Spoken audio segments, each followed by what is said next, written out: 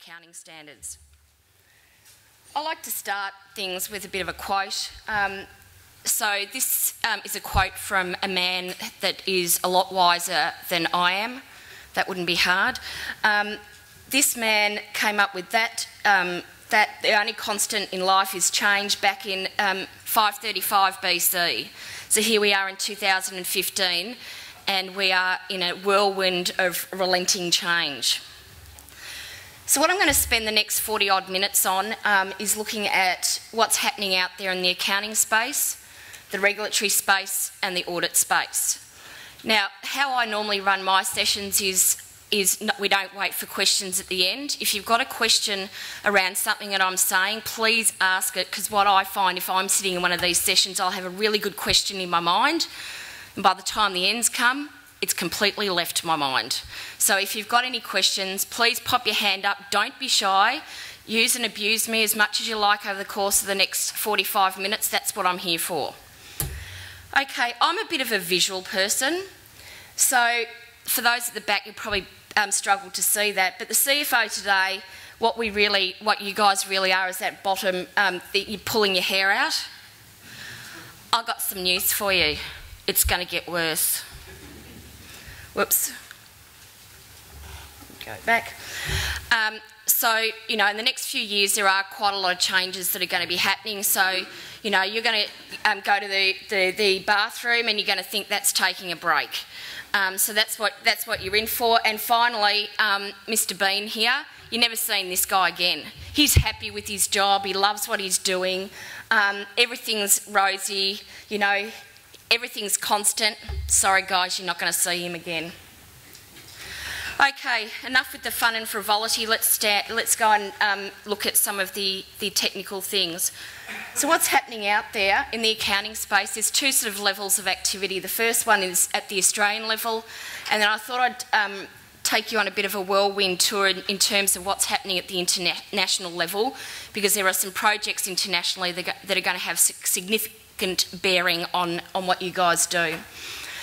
So if we have a look at the first one, which is um, AASB 15, um, this one's been a long, long time in the making. There's been a lot of divergent thoughts um, at the international level, uh, both at the international accounting standards level and also at the FASB level. There's been a lot of toing and froing in terms of trying to get some um, if you like, relative consistency across the globe with how we actually recognise um, revenue.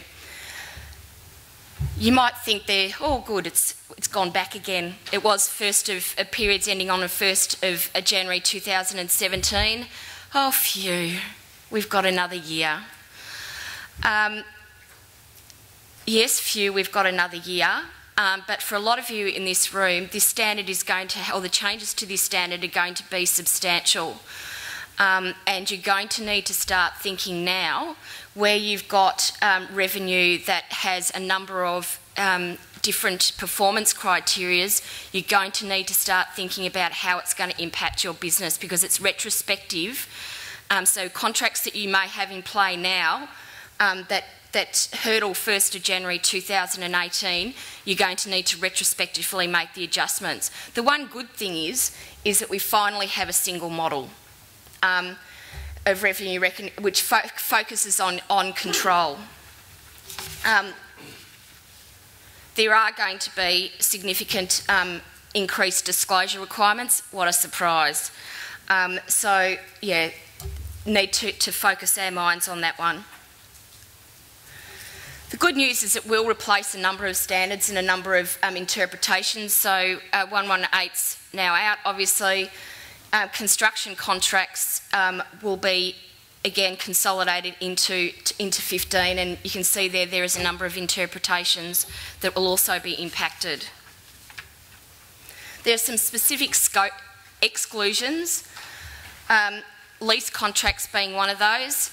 Don't get too excited yet because I'm going to come back to leases a little later. Um, insurance contracts, um, contractual rights and obligations under, under 9 and 131 being um, financial instruments. So um, there are a number of scope changes. So if we actually have a look at what the, exactly the model is trying to tell us, there's five steps. The first one is identify your contracts with your customer. Identify whether there are separate performance obligations. Now that's actually quite um, important because that's going to either um, that's going to mean there may be differentials from the timing of your revenue recognition.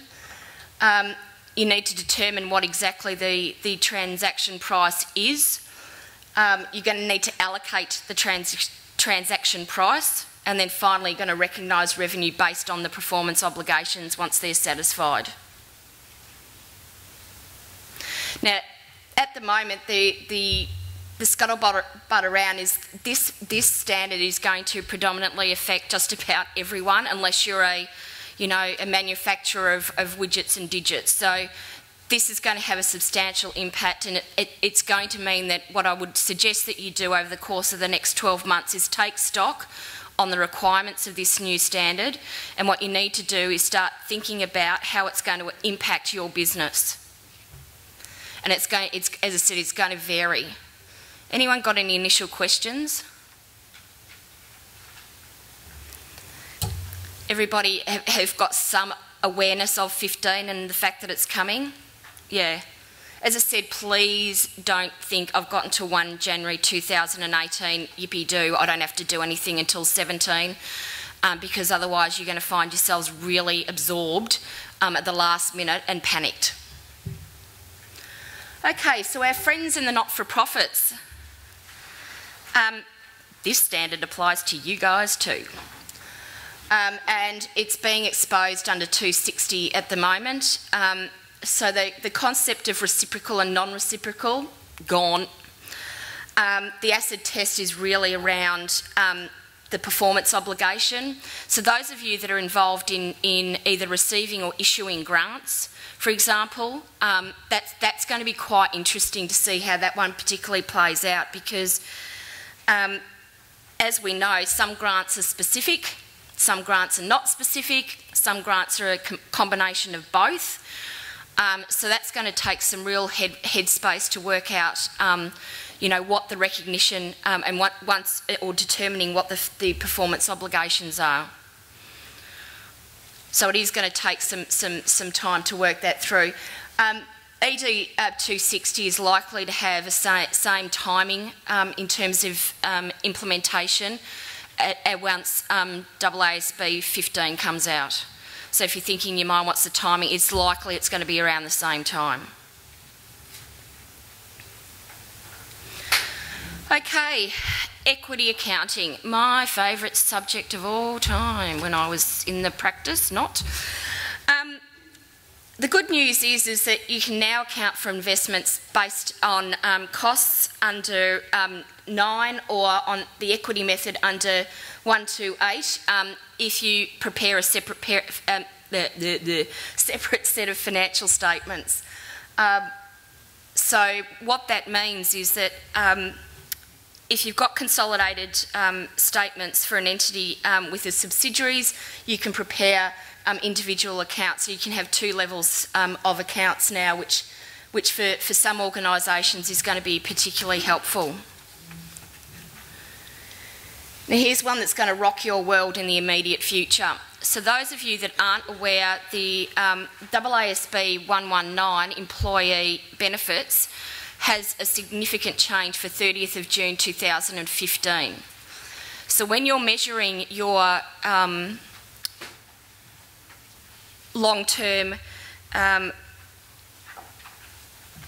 employee benefits or um, defined benefits, there's a new basis on which you have to um, discount your uh, discount your um, your cash flows, and that is using the corporate bond.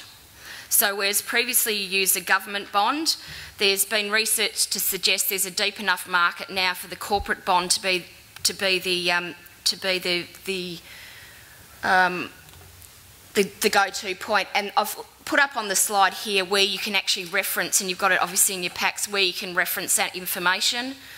Um, so basically now, what you need to do is you need to recalculate all your all your um, or your leave balances using the corporate bond rate. Um, that's going to have a P&L impact um, because the corporate rates um, are higher, which means your provision will be lower. Good news to some.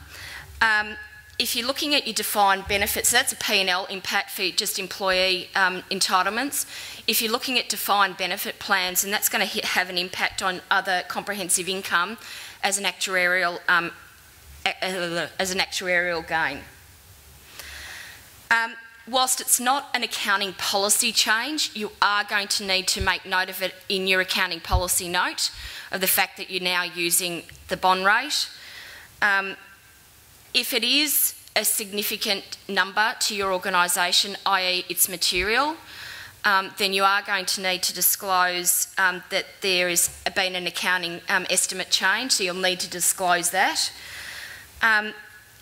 For remuneration reports for listed entities, um, you're going to need to um, maybe um, add a disclosure for your key, um, key management um, people that you make disclosures around. You're going to potentially need to, uh, to explain why there's a significant change there. So there's several tentacles to this particular one change. We had some discussion um, last week. I'm part of a large national networks discussion group and we were discussing where this is in fact likely to be material for, to organisations and we've identified within our group a number of companies that this will be. Um, there was some debate on what do we do as accounting firms if, um, a, if a company doesn't apply the bond rate. Um, that's something that you will need to have, obviously, if you think you're going to have a material ad adjustment and you don't want to make it, that's something you probably need to have a discussion with your external auditors if you are subject to external audit sooner rather than later. Because I think there'll be some varied, um, based on the discussion around the table, there's likely to be some varied responses from firms out there in terms of whether they'll, if it is material and you don't adjust, whether they will in fact qualify. So if you think you've got a material, I'd suggest you have a discussion with your auditors sooner rather than later.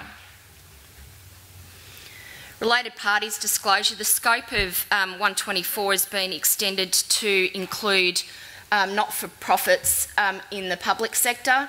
Um, so, sorry, we've got a question.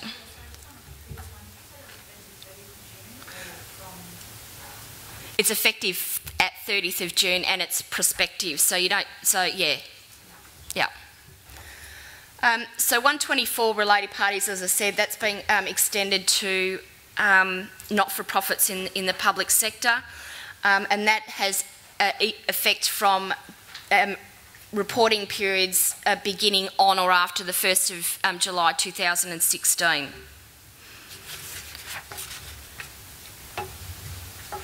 Financial instruments, my subject matter expertise, not. Um, I avoid them like the plague. Um, there's been a substantial rewrite of that standard which will come into play on the 1st of January 2018, so that's reporting periods beginning on or after. Um, so again, I'm not going to spend too much on that today because that could be an entire presentation on itself. Um, and I'll be washing my hair that day, so I won't be making it. So um, we've got some time here, and as I said, probably next year when we get a bit closer and, and some of the um, some of the intricacies of what's how that's actually going to play out in reality, we can come back to. Okay, the IAASB lease standard. Many years ago, and sorry if you've been in a room with me before and you've heard this particular story, the head of the I, um, the I'll won't use abbreviations because that's my speak, the head of the International Accounting Standards Board, Sir David Tweedie, was on a plane one day from London into, to New York. And Sir David, God bless him, decided that it made no sense to him that the airline that he was flying did not have the aircraft on balance sheet. So he set about what has been some of the most tumultuous change that we will see in the accounting practice in years because he wants to see aircraft on a balance sheet. Bless him. As a result of Sir David's um, passion for said leases, we now have a leasing standard that will come into play probably in the next couple of years. It's likely that it, will um, be cemented in a fourth, a fourth quarter of this year at the international level, probably with implementation around 2017, we hope. Um, basically, if we cut to the chase, what this standard's really getting to is previously operating leases weren't on balance sheet. They now will be. Luckily, we've gone away from um, setting standards on the lessor side, so the focus really here is on the lessee side. Um, so there are going to be a number of, of, of significant changes. So what I'll do is I'll go, okay. So we get this concept of right of use of an asset because effectively that's what that's what we're coming to. For those of you who have leases less than 12 months that are operating in nature, status quo.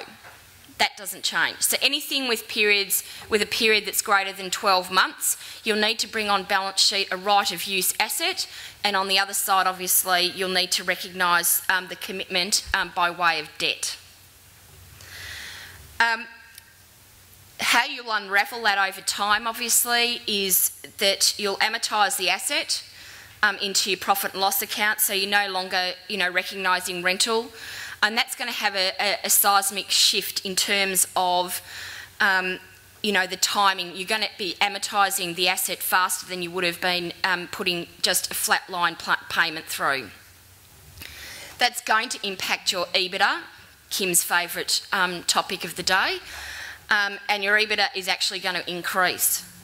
But the problem here, and one of the things that you are going to have to be very careful of, if you're a reasonably geared organisation and you have a number of um, bank covenants, you're going to need to make sure in the not too distant future you need to start having dialogue with banks around the potential impact that this is going to have on your, on your ability to meet your bank covenants because this will significantly play around with it. Unfortunately, whilst the profession um, and the regulatory bodies have tried to engage with the banks and get them to understand um, the potential impact. And I'm sorry if there's any banking people in here, I don't mean to offend, but generally speaking, the banks aren't understanding what's about to hit you guys. So if you do have complex um, arrangements with your banks, start engaging with them now. The tax consequences of this at the moment are actually quite unknown, which is startling.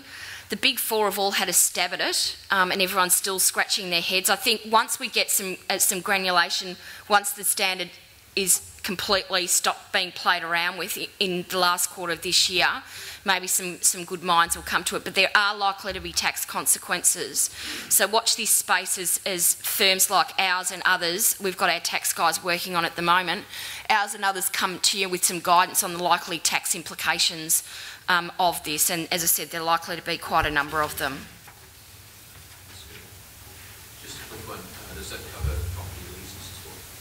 The question is, does that, um, that does that um, do you have any property leases that are um, that are operating. Okay, well, my interpretation of the standard um, is that it is. But what I will do, because I don't want to misguide you, is I'll have a look at that during the course of the day and I will find you later on today and give you a specific answer. I don't pretend to know everything. People around me try and pretend I do, but I don't. But I will come back to you. Now, the IASB um, have recognised that there's disclosure overload. kind folk, aren't they? So they've given us some radical guidance, not. So what they've basically said is, is threefold. Um,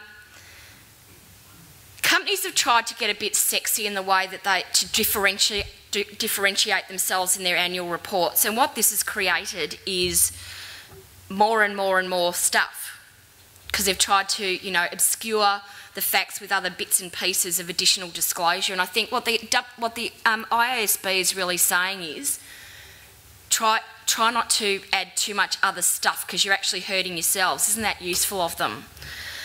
Um, one thing they have clarified is, is materiality applies to all aspects of the financial statements. So where you've got a standard that specifically requires disclosure, materiality applies. Now, I was trying to get my head around that last night because I know one of the things that we've always said around the related parties disclosure is materiality doesn't apply because that's been our interpretation of it. I think going forward, now that we've got this, this amazing clarity from the, um, the IASB, is that we've got some flexibility in terms of how we interpret the accounting standards, and it's been specific in the fact that we should apply materiality. So that at least is helpful. Um, are they going to have hard financial statements? Mm, sorry, no. So that's as, as, much as they've been helpful to this point with the disclosure um, overload. So, um, oh, one of the other things they've actually done um, is that they've said you can make, you can order your notes in your financials the way you think they make sense. So, notwithstanding now in, um, in, in one that they've got a prescribed order, if you think another order suits your organisation better, then use it. Um, so that's probably the best I can give you under, on the overload side. Now I'm just about to walk away from the, the world of um, financial reporting. Any questions before I move on? All right, let's rock. Okay, so what's happening out there in the regulatory space? There's a few things that you need to be aware of um, come this 30th of June and, and going forward. Okay, remuneration report. Yay, we love it. Um, some clarifications here more than anything. Um, where you've got um, options um, that have lapsed, um, you know, due to, um, you know, not meeting vesting conditions, you no longer have to disclose the value of those options. You still have to disclose the number of options, but not the value of those options. So at least that is slightly helpful so you don't have to value something that really doesn't, or spend the time valuing something that really doesn't have any relevance.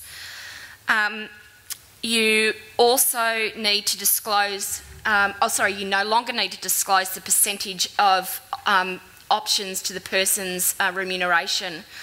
Um, so that's, that's beneficial as well. The one really good thing I think in, in the clarification here, one that we've been grappling with for a while, um, is that they have now made it clear, I'll come back to you in a sec, they've now made it clear that 300A does not apply to non-listed disclosing entities.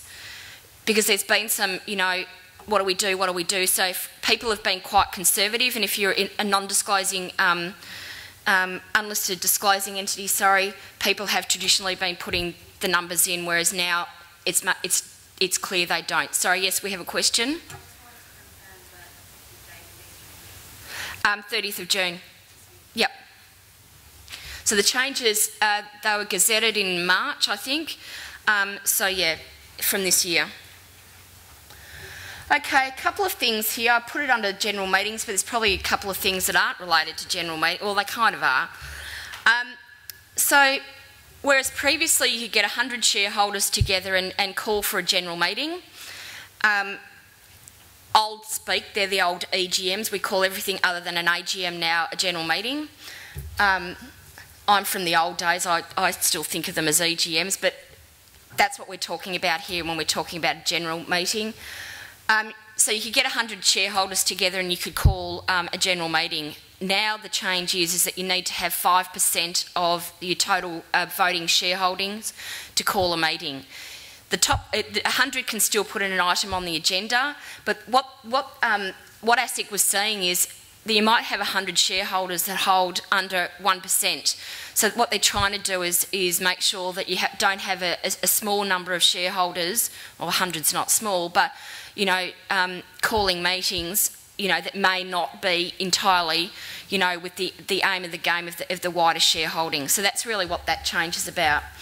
Um, small companies limited by guarantee, and what I mean by small is less than a million dollars, um, no longer have to engage um, a um, external auditor.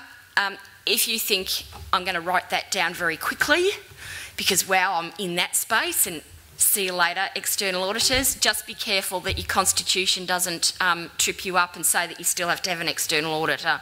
So just be careful there.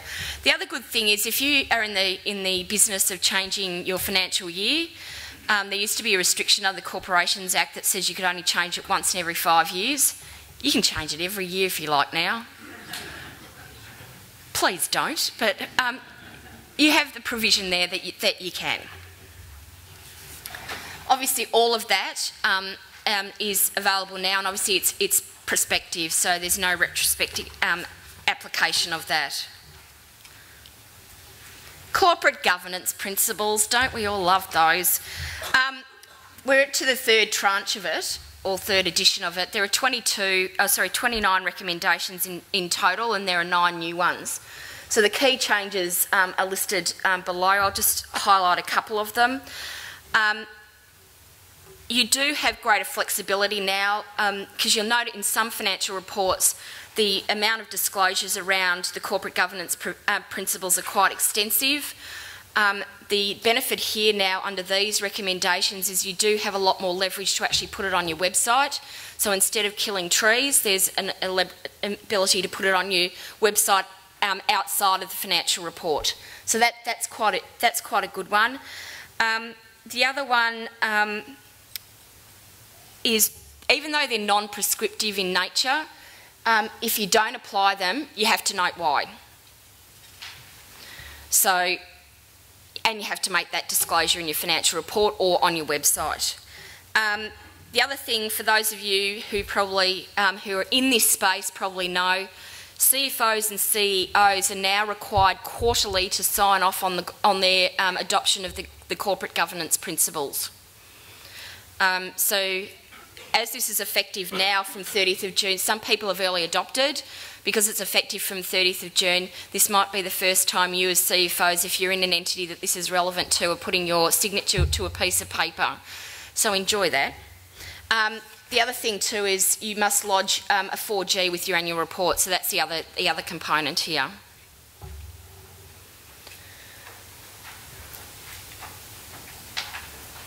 Did I turn that off? Okay, continuous disclosure, ASX, our friends at the ASX, don't we love them? Um, basically on this one, and I'll, I'll, you've, you've got the benefits of the slide, so I'll just try and you know cut to the chase with this one. Um, basically, what they've been concerned about is giving um, potential existing shareholders and potential shareholders what they view as de facto um, earnings guidance um, through uh, investor um, sessions, etc. They, they, really want um, companies to move away from that, so they've got some stricter guidelines around that. So really, the only time you go to the market is if you've got a market-sensitive announcement to, to, make around earnings. So what they, as I said, what they're trying to do is cut out all the excess noise and, and the confusion. They're also calling now, if you intend to hold an investor um, briefing, they want to see um, what in, in fact you are going to tell your potential investors and existing shareholders. So that has to be lodged with the ASX before you hold that. So that's another change. The ACNC. Okay, if you're in this space and you're praying to God that Tony Abbott was going to get rid of it, bad luck, they're here to stay. The good news is, though, is for those of you that are in this space, there are um, entities that submitted reports um, the first time to the ACNC. Um, because there are still some differences between local legislation and the requirements of the ACNC, they've, they've, they've extended the transition arrangements so those arrangements still apply to 30th of June this year. I had a discussion with an interesting guy from the, ANC, uh, the ACNC last week and he gave me some wonderful facts that I thought some of you might actually be interested in. So, of the 55,000 charities that are registered with the ACNC, 30,000 of those have lodged accounts. So, if you're interested, if you're in this space and you're actually interested in financial statements, what's being lodged with the ACNC, unlike our friends at ASIC, you can go onto their website and have a look at any of sets of accounts that have been lodged. The bad thing for the people that haven't lodged already is it's very um, obvious to the ACNC who haven't lodged. The other interesting thing that, again, it's really at the small end of town, but if you have a charity that has less than $250,000 in revenue, you can actually cash account. So that was something I didn't know. So I don't know if you're interested in that, but anyway, I thought it was quite interesting. But I'm a boring person. People say to me um, at the dinner table, What do you do for a living, Liz? Oh, I'm a chartered accountant. It's good. And my specialty is international Australian auditing standards. Really lights the fire. Okay. Auditor resignation and removal. For me, I'm excited by this. Some of you might be too, but I'm excited. Previously, we were hamstrung in that um, auditor resignation or removal could really only happen once a year, and that was at the AGM. This is for in the listed space and Corps um, Act space. Um, so from I think about now, although we're waiting for the announcement, but ASIC are acting as if this was um, had force of law now. You can basically change auditors at any time. Now, if you are audited by William Buck, of course, you will never change. But other firms, if you want to come to us, you're more than welcome. So you can change anything. The only time ASIC will only query you um, if they think that there might be some um, dubious reasons for change. And like if you're changing your auditors in July or August and you've got a June year end, I don't like your, your, chances of changing. So they, they do have a right of refusal, but from what I'm hearing from um, Doug Niven at ASIC, you know, th that shouldn't be a major issue. So it gives, it gives us all a lot more flexibility in the main. Okay, audit developments very quickly. Um, I'm going to briefly touch on auditor rotation, long form audit report, going concern and um, 720. So auditor rotation, there's two levels here. There's firm level. Now the EU, for those of you that may know, they've got um, firm rotation now, which means they have to have a tender, a commercial tender every 10 years. An audit firm cannot, cannot audit um, a company for greater than 20 years. Doesn't look like that's on the Australian agenda yet, but we'll watch this space. At the engagement level, however, um, and this is still being debated globally, but I'll just give you where it's at in the global. Um, now it's looking like your key audit partner um, and all audit personnel can be on for seven, but they have to be off for five. So um, that is creating a whole lot of tension um, both globally um, in Australia. In fact, there was an un unprecedented number of comments to an exposure draft. There were nearly 100 responses. We basically all said, no, we don't like it. Um, the um, international um, body said, well, we don't care, but luckily the regulators have come in. So hopefully um, by this time next year, I can tell you, we'll, it'll be status quo. And for Australia, for those that don't know, it's five years on and two years off.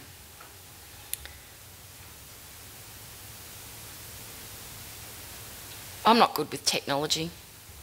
Right. Here's my feelings on this one. Oh, that was dramatic. That's my feelings on this one.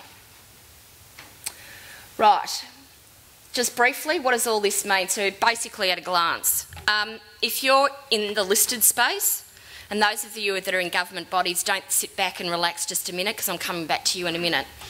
If you're in the listed space, um, then long form audit reporting is effective for periods ending on or after the 15th of December 2016. So, for those of you that have December year ends, coming up to this December, really important that you start having a dialogue with your external auditors and getting a, a picture of what your audit report is likely to look at come December um, 31, 2016. And I mean that quite seriously because now for those of you who haven't heard, the audit report is going to look quite different. Um, you're going to have key audit matters in the listed space. Again, don't relax too much, those of you that are outside the listed space, because I'm coming back to you in a minute. Um, and that is basically, in the auditor's judgment, what are those key areas that are going to be focused on or were focused on from an audit perspective and how were they addressed during the audit um, process? The opinion now, um, the actual opinion will be at the top of the um, of the audit report, um, and the partner's name will be on the audit report. So whereas now it's not compulsory to have the partner's name on it, the partner's name will be on the audit report.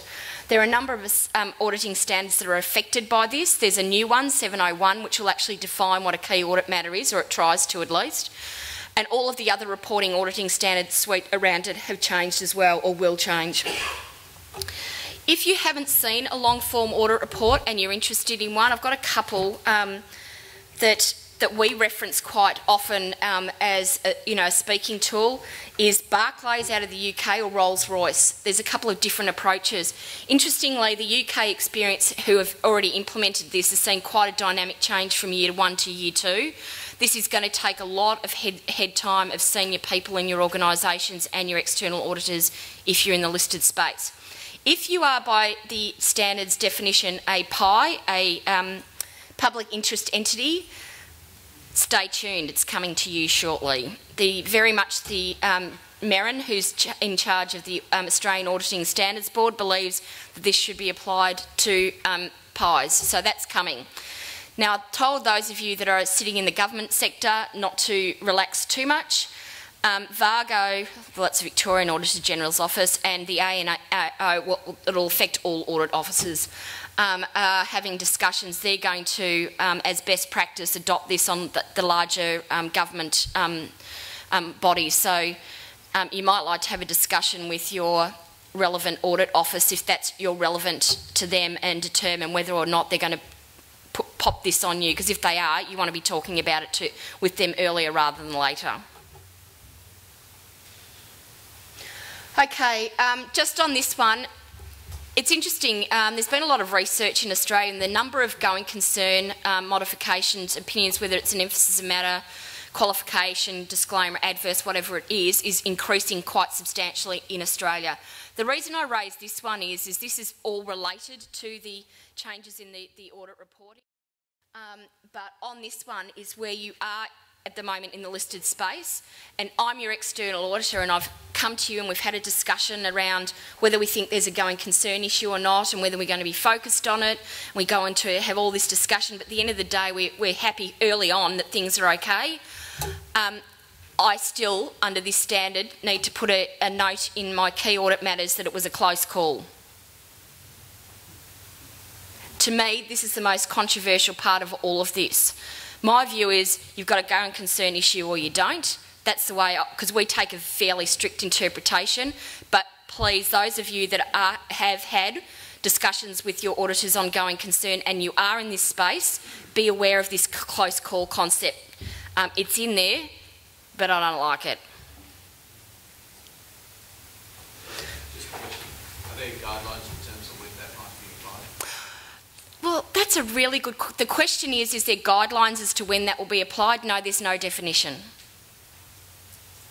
which is very, very helpful. So, if you think you're going to be in, in that space, engage with your auditors early and, and make sure you've nutted it out. Just um, one of the final things is um, auditors' responsibility uh, relating to other evidence. For those of you that produce um, financial, uh, sorry, um, annual um, report, quite often your financial statements, which are here, are often signed off by your external auditors and then the financial reports put together. I'm going to give you an inside word because this is what this is saying is your auditors have to sign off on what other information they've looked at. If you want to tick them off, here's a, here's a strategy for you. All, do all your other information disclosures in your annual report, not your financial statements, because then they can't make comment on it. I didn't tell you that.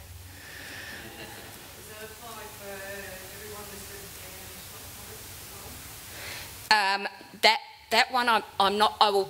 I will find out the answer for you on that one. I'm not 100% sure because that's actually still in debate at the global level. So yeah, um, I started with a quote and I'll finish with a quote. Hang on.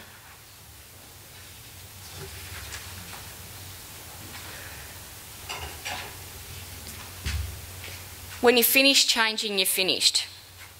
I used to, when I started in, the, in an audit practice in Coopers and Lybrand way back when, um, I used to have my, my gorgeous um, audit um, partner basically said to me, Liz, don't come to me with anything that's changed. I'll just hide under my desk, and the next time there's a change, and there's another change, and there's another change, and it'll circle back, and then I'll become relevant again. I kind of look like this. Like, if we're going to keep going as CFOs and accounting professionals, we need to embrace change. Thank you.